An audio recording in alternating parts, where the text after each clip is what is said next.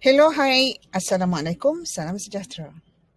Saya Yusnita Mat Yunus, SISC Plus Bahasa, PPD Timur Laut, Georgetown, Pulau Pinang ingin membuat sedikit perkongsian. Jom Canva for Education. Hasil perkongsian diharapkan guru-guru akan mengetahui dan mengaplikasikan perisian Canva dan Canva Pro. Guru-guru boleh menggunakan Canva. Guru-guru boleh menggunakan Canva Pro secara percuma dan mereka cipta bentuk menakjubkan dengan ciri Canva yang mengagumkan. Itu adalah kriteria kejayaan. Sekiranya guru guru dapat atau boleh membuat semua ini, maka berjayalah perkongsian saya pada hari ini. Tahukah anda yang kita boleh menggunakan aplikasi dan unlock Canva Pro secara percuma melalui Canva for Education? Kalau uh, guru-guru biasa guna Canva, uh, banyak uh, item-item ataupun uh, uh, grafik-grafik yang tak dapat kita buka sebab uh, di unlock sebab di Canva Pro. Sebenarnya kita boleh dapatkan secara percuma ya. Okay. Tapi sebelum tu, jomlah kita kenali apa itu Canva. So Canva ni sebenarnya is a graphic design tool that makes creating custom graphics easy. Hmm. It is easily accessible by phone or tablet and is user friendly. Not only can you use it to spice up your social media content, but you can also use it to design things like presentations, invitations, posters, brochures, business cards, and etc. Okay. So, sebagai seorang guru untuk Kementerian Pendidikan Malaysia, uh, mula-mula kita perlukan ke, uh, perlukan ID. Ha, so, kita ke laman web Delima KPM. Uh, Okay, ini macam mana kita nak log in untuk uh, Delima. Okay. Bila kita dah sampai dah kat Delima tu, kita klik kat sini, guru. Selepas kita klik guru, kita cari ikon aplikasi dan kita klik di situ. Okay. Uh, sesudah itu kita akan jumpa huruf C ni. C ni stands for Canva. So kita klik di sini. Kita pun akan dibawa ke Canva. Okay. Uh, kita pilih teacher.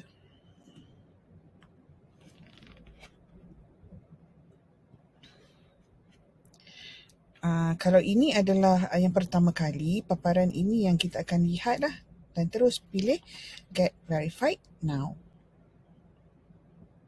Selepas itu kita akan lihat paparan ini pula. Klik done.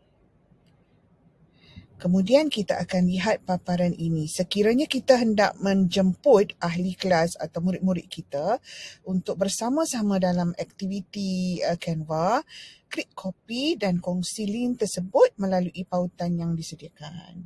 Kalau tidak mahu berkongsi pautan buat masa ini, terus klik done. Okey, sekarang anda sudah mula menggunakan aplikasi Canva dan Canva Pro secara percuma.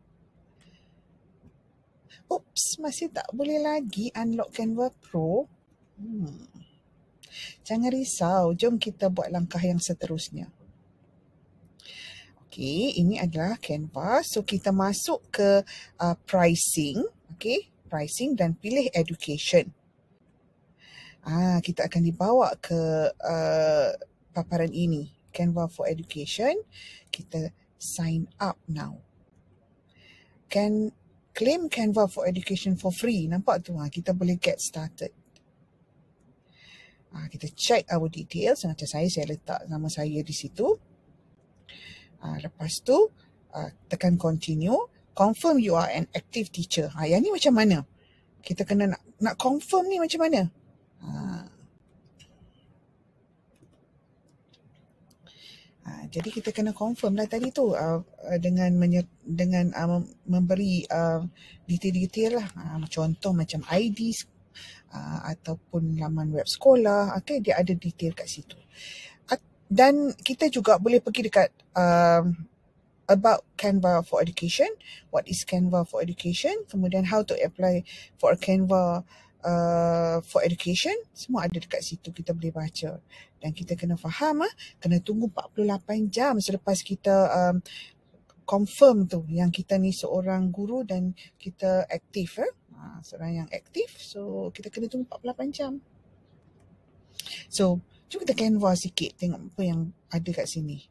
Ha, so ni canva. Ha, okay mari kita tengok video ni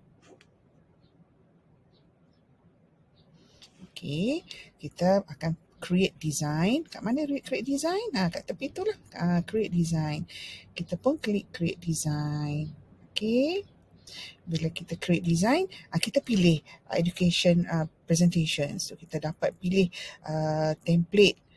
Saya nak pilih yang ini. Okay. Alright. Yang ni yang diberikan. Tapi saya boleh tukar. Masa okay, saya delete. Saya tak nak yang itu.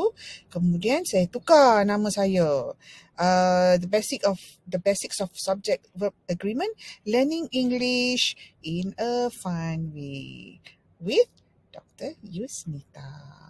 Right? Yunus. Okay. Lepas tu saya tengok macam tinggi sangat lah. Saya nak buat turun sikit boleh tak?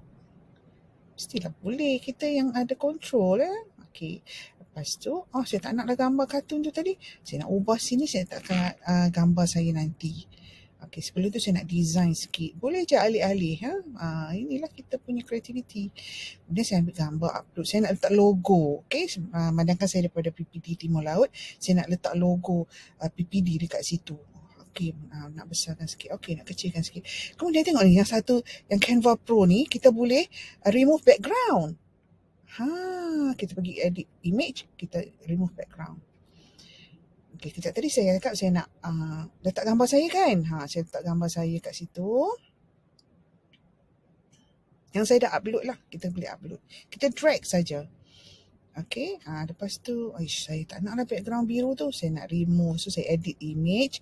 Saya remove background. Lepas tu, uh, saya alih dia kat tepi sikit. Uh, cantik-cantik. Ah, dah siap. Okey.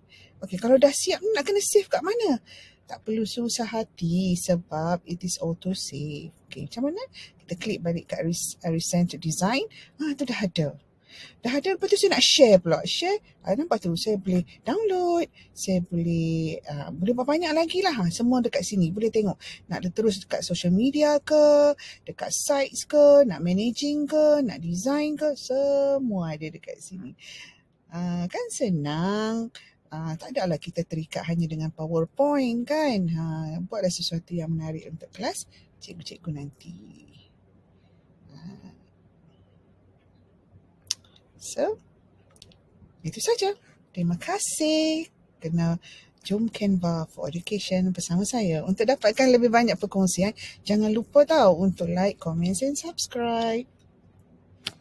Bye.